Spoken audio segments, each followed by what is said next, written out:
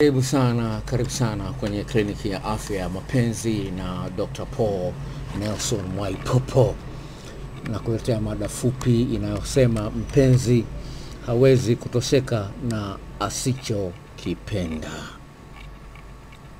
Watu wengi sana wamekuwa wepesi kulalamika bila kujua kwamba kuna vitu ambavyo wenzao hawavipendi, japokuwa ni vya kawaida lakini hawavipendi na wanaendelea kuwa nao katika mahusiano na kuboreka nao bila kujua kwamba mtu anamboa mpenzi aliye naye. Tafiti ya mada hii fupi imeonyesha wazi kabisa kwamba upo uwezekano ukampenda mtu kiasi ambacho yani, yani unaona yani hii ni sehemu muhimu sana ya maisha yako. Sasa meseji hii itakusaidia kuelewa ninachokisema. Naomba usikilize.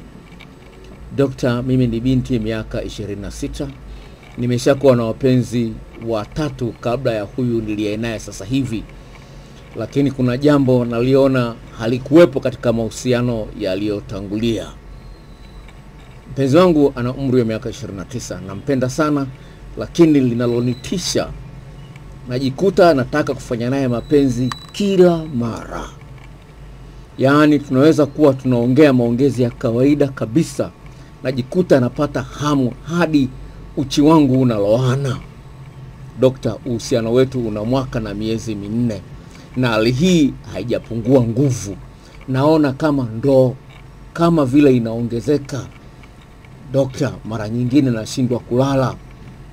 Kwa wingi wa nyege, na haswa anapokuwa hayuko au amesafiri yaani najikuta nawaza utamu wake tu.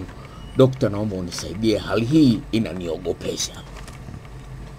Sasa ni wachache ambao wataweza kuwa na hali kama hii, na sio kwamba mtu aliye naye hana makosa, hana mapungufu, ila kuna vitu ambavyo vina nguvu zaidi vimeshika moyo wake na roho yake na nafsi yake.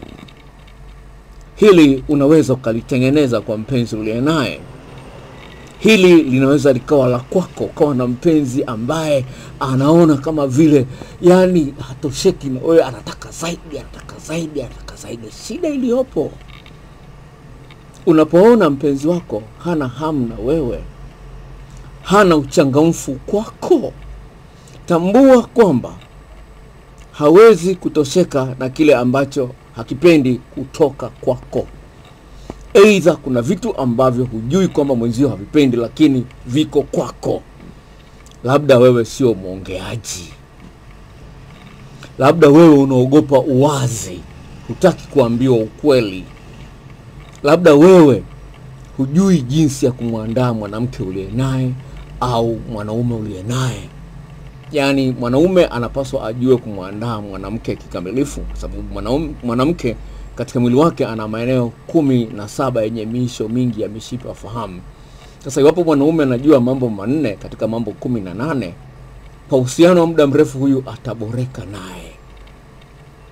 Mwanamke anapaswa afahamu kwamba mwanaume katika mwili wake una maeneo kumi na manne yenye miisho mingi ya mishipa ya fahamu. Anapaswa ajue, huyu mwanamke anapaswa ajue, mwanaume anapokuwa anaishia goli moja ajue njia mbinu za kumsaidia mwanaume huyu aanzishe raundi ya pili. Mwanaume naye vile vile ajue kwamba mwanamke hatosheki na kupizi mara moja tu, unaweza ukampizisha mwanamke hata mara saba kwa usiku mmoja. Sasa wewe unampizisha mwanamke mara moja, unaona ni sawa tu, ilimradi amepizi, lakini katika historia yake huko nyuma ashapizishwa mara nne kwa usiku mmoja au mara sita. Wewe mwanamke unafanya mapenzi na mwanaume, hata miguno hamna, hata makelele hamna, wewe unaona ni hali ya kawaida, lakini aishakutana na mwanamke huko nyuma ambaye alisababisha miguno na makelele mpaka mwili unatetemeka, wewe ndio limekushinda.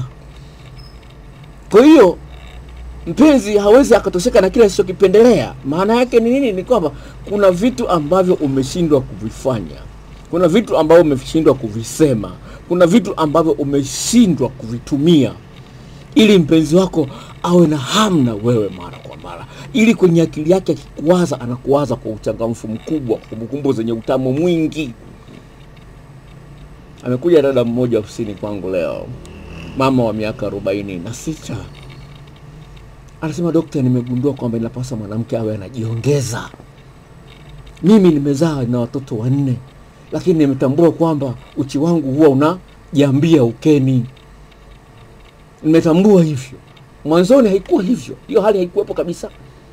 Kabla sijajifungua hawa watoto, uchi wangu ulikuwa unabana vizuri kweli, hata mwanaume kuingia ilikuwa napata shida, lakini nimegundua hili, mwanaume hajanilalamikia, lakini nimejishtukia mimi mwenyewe. Ule msemo wa kusema jiongeze ni wa muhimu sana, usisubiri kulalamikiwa. Unaweza kuona jinsi gani ilivyo huyu mama ana, anazungumza kitu ambacho wanawake wengi, wanaume wengi wameshindwa kukifanyia kazi. Sasa unajiona kwamba hakuna migogoro, hakuna shida katika uhusiano wako, unajiona uko sawa, lakini napenda kwambia hivi, upende usipende, huko unakwenda sio kuzuri. Ni muhimu sana uweze kuwa na vitu vingi ambavyo mwenzio anavipendelea na kuviongezea uzito, kuviongezea utamu zaidi mara kwa mara, ili utengeneze kumbukumbu kubwa ya utamu wako, ili uweze kukumbukika mara kwa mara. Hii kliniki ya afya ya mapenzi.